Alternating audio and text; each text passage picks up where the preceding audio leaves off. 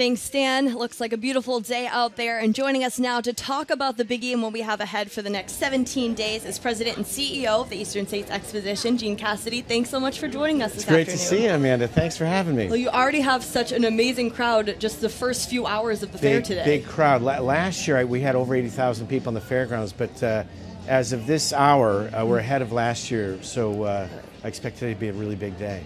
And what do you think people are most looking forward to for this year's fair? Well, you know, I, mean, I, I was here early this morning greeting people at the gates, which is a, a great, fun thing to do because everybody's so happy to be here. But I think, you know, this year, after, you know, that now the fog of our bad times are behind us, people are really anxious to get back to, to living. And, uh, and the fair is a great place to see family and friends, and so they're here in force. Yes, definitely. I'm sure the good weather is helping out this Well, weekend. by golly, you know, we've been blessed. Today's been a beautiful day, uh, and the forecast looks good so far for, for the weekend. So, you know, people are just happy to be out and, and about and enjoying the fair and, and each other's company. Definitely. What would you say is your favorite part of the Biggie every year? What do you look forward to? Well, most? you know, uh, for, for me, you know, the Big E's been such a big part of my life for a long time. I was born here in West Springfield, uh, not far from where we're sitting right now.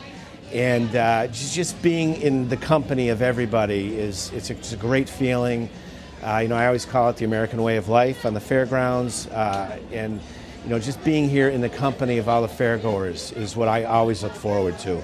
There's so many things to do, musical acts. We'll have 147 musical events that'll take place on the fairgrounds in the next 17 days. Big names to small names, and, uh, and lots in between. We've got our Hooplandia, which will is a little bit of a focus here on the Avenue of States. The, the, the, the Dunk Squad is here. They're representing uh, the three on three basketball event that the Eastern States will host uh, in June uh, of next summer. Uh, and there's just there's just so much to do, eat, see, and, and, and happiness on the fairgrounds. There is. I feel like everyone focuses on the Biggie food the most. Do you have one? What's your top food item we have here? Well, of course, you know uh, we make the cream puffs at the Eastern States, an iconic uh, iconic food item, which is really really good. But truth be told, my favorite thing on the fairgrounds are the fried cheese curds. Oh, interesting. So you can only get them here, and Yeah. you can only get them once a year. So that's what I look forward That's to the most. you're- Yeah.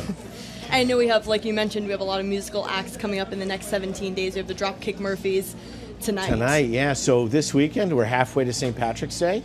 And uh, as you know, here at the Eastern States, we have a whole a section of the Young Building is dedicated to Dingle, Ireland. We have the Dingle Peninsula Pavilion. So we have craftsmen from Ireland uh, here. All of our Irish friends are back after COVID.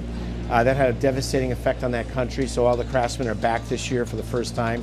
And uh, they're happy to be here. So we started off halfway to St. Patrick's Day, Dropkick Murphy tonight. Uh, tomorrow night we have Unforgettable Fire, which is a U2 uh, band, which is really, really good, and they'll be in the arena stage. So, uh, yeah, we're happy to have our the cel- for us Irish. This will be a great celebration weekend. you right. Yes. Well, that's amazing. And are any of the concerts sold out already? I know you have some. Yeah, so uh, yeah, thebige.com. Uh, there's still some tickets left to Dropkick, uh, not many, uh, but and then you know for folks that want to plan their day, visit thebige.com. Get yourself a plan so that you're not overwhelmed when you get here.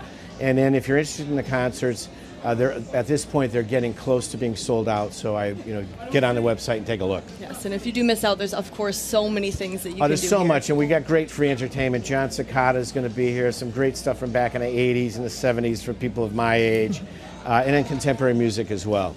Yes. Well, we're looking forward to the next 17 days, checking out the fairgrounds. Well, I'm giving credit to Western Mass News for the weather. So Yeah. just if you, you keep bringing the weather, we're I all know going to have a ball. It's a beautiful day to be out here today. Thanks so much for bet. joining Thanks, us, Gene. Amanda. Thanks, Gene.